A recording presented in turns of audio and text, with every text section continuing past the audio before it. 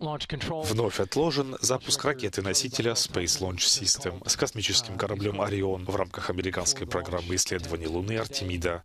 Как сообщили в НАСА, всему виной утечка жидкого водорода при заправке топлива в основную ступень ракеты. 29 августа беспилотный полет вокруг естественного спутника Земли уже был сорван из-за схожей неисправности. Пока неизвестно, останется ли ракета на стартовой площадке или, что более вероятно, вернется в цех вертикальной сборки. Мы не будем проводить запуск до окончания нынешнего стартового окна. Как вы знаете, этот период заканчивается во вторник.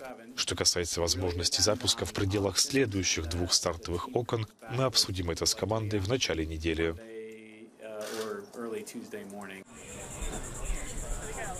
Стометровая Space Launch System – самая мощная ракета, когда-либо разработанная специалистами НАСА. Тысячи зрителей со всей страны надеялись стать свидетелями запуска. Мы уже полвека ждем возвращения на Луну. Давно пора. Последним человеком, стоявшим на ее поверхности, был Джин Сернан. Это было почти 50 лет назад, в декабре 72-го. Я уверен, мы должны были вернуться намного раньше. Я с нетерпением жду этого момента. Миссия Артемида-1 предусматривает тестовый полет капсулы «Орион» с тремя манекенами на борту вокруг Луны и ее возвращение на Землю.